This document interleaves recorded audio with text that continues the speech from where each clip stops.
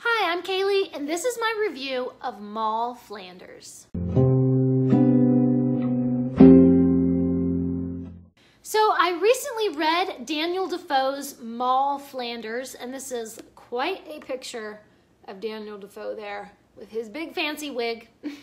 but before I get into this review, I want to make sure that you know that Books for MKs is a charity that donates books to missionary kids. Today's MK shout out goes out to Hezron, who lives with his family in Cambodia. He's 16 years old and he loves to read Percy Jackson and science fiction and mystery. If you want to donate to Hezron and children like him, you can donate to the Books for MK's charity at GoFundMe.com.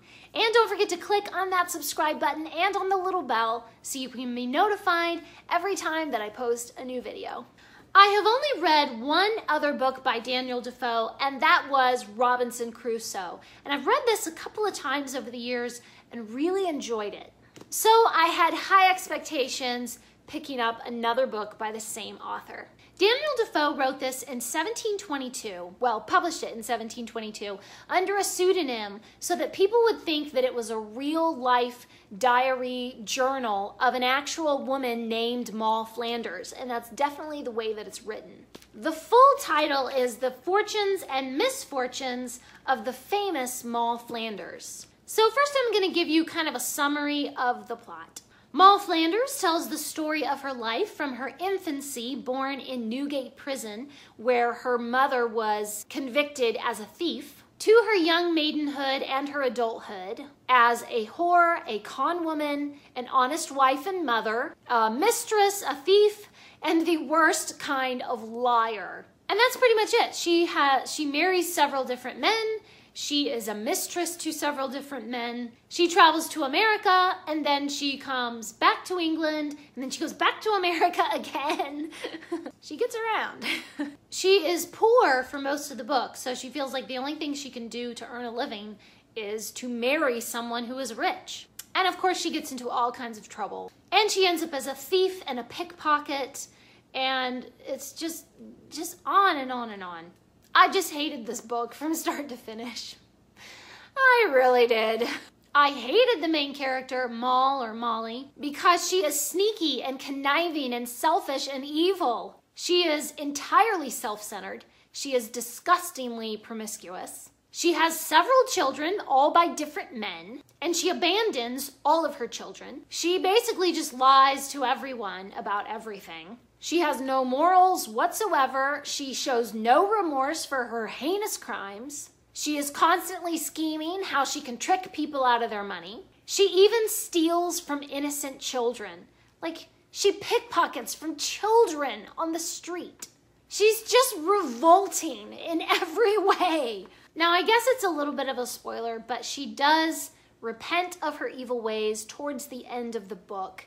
And you know, changes her life around and begins to be honest again. But to me, it was like too little too late. Like I already hated her so much.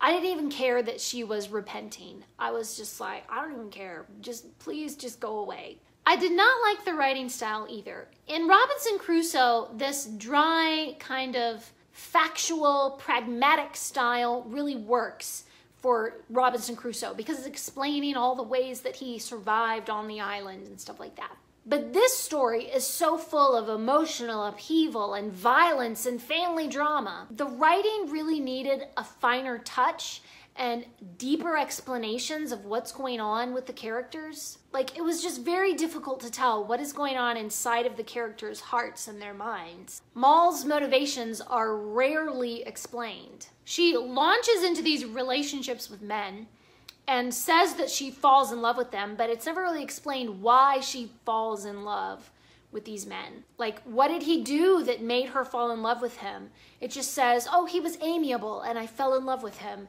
and we got married. And it's like, really? He was amiable. Okay, wow, I'm just, I'm feeling it. Whatever. The writing is just so bare and plain and it just tells the story in this very, these are the facts kind of way. There are also no chapter breaks at all. You flip through, there's no chapters, there's no breaks. It's just paragraph after paragraph after paragraph. It's one long, rambling narrative. And after a while, that just gets to be very tiring. The story is also much, much too long. There are at least a hundred pages that are only about her time as a thief. I actually counted. It's from page like 201 to 309. A hundred pages in here. And all it does is talk about her time as a pickpocket and a thief. It just recounts different jobs that she did and how she got away with it and how she was almost caught but then she escaped and how she fooled people and conned them and how much loot she got. I mean, really, I didn't need a hundred pages of that. The plot completely stagnates. It doesn't go anywhere. It's just a hundred pages of thievery. I'm just, I'm just so not happy with this book. Ugh.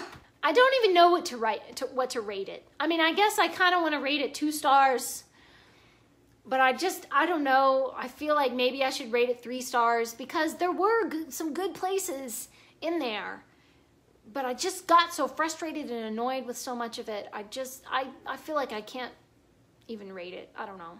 Anyway, Moll Flanders. That was that. Please leave me a comment and let me know. Have you ever been reading a book and it just went on forever and the plot just got stuck somewhere and did not go anywhere? Thanks for watching. Please subscribe and remember, the right book in the right hands at the right time can change the world.